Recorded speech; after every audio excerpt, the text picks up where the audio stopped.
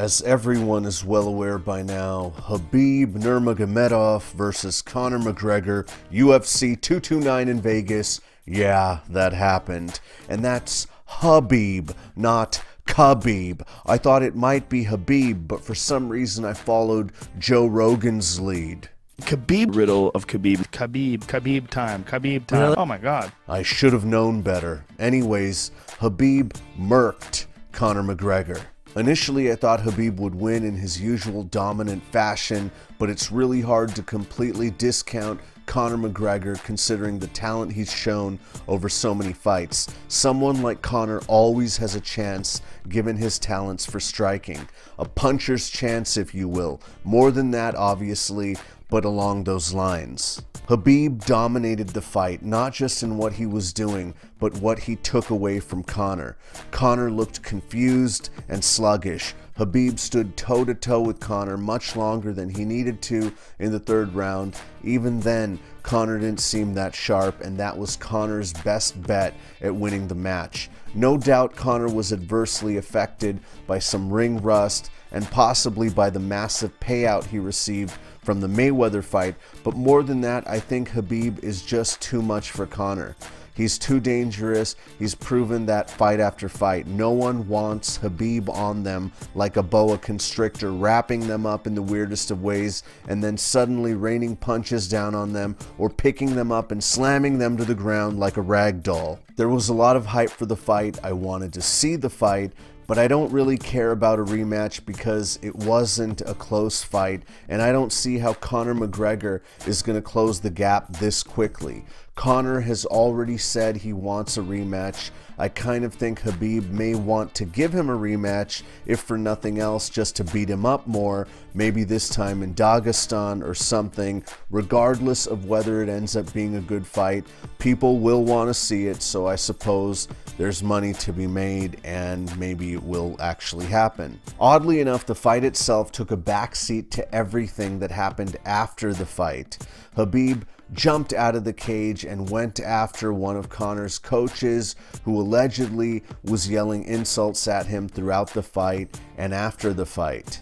I'm not going to mention what those insults were, but they were pretty bad. Conor also tried to jump out of the cage but was restrained and then allegedly threw a punch at someone on Habib's team. Then, as most of us have seen, people from Habib's team went at Conor, most notably a guy who punched him in the head from behind. As a result of all this BS, Habib was not awarded his belt in the octagon after the fight. A few people, presumably on Habib's team, who were involved in the commotion were arrested, and the Nevada State Athletic Commission is considering keeping Habib's $2 million purse for the fight, the entire purse. The Nevada State Athletic Commission is also going to hand out temporary suspensions to both fighters and will do a comprehensive investigation.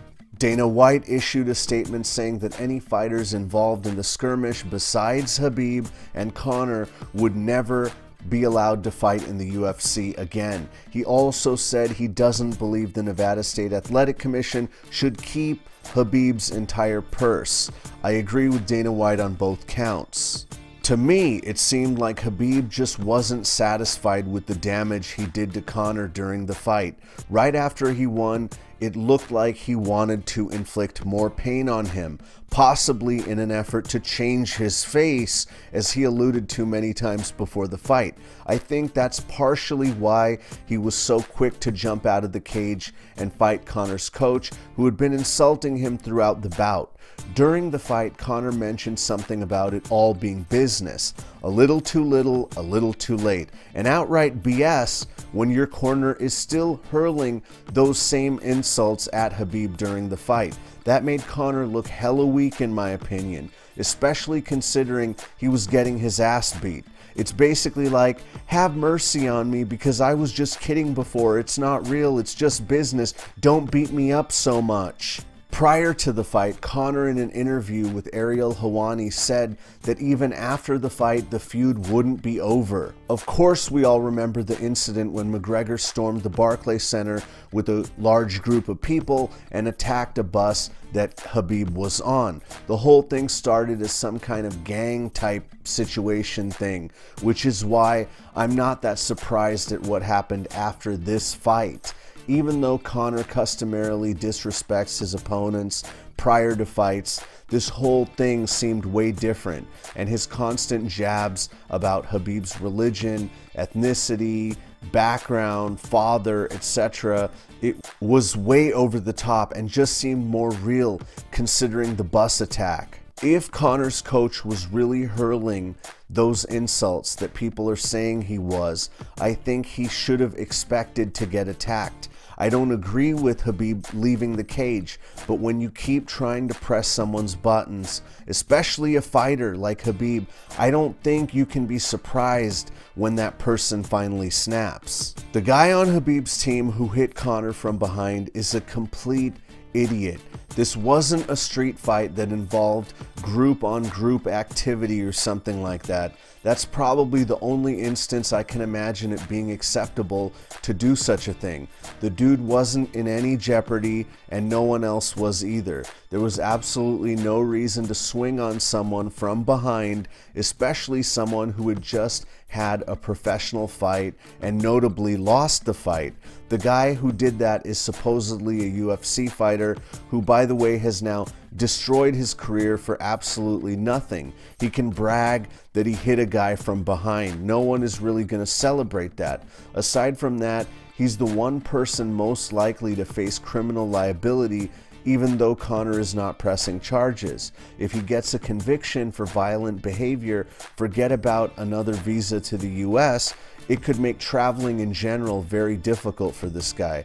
His best bet at this point is Khabib hiring him to be his driver in Dagestan. Khabib, Khabib time, Khabib time. Really? Oh my God.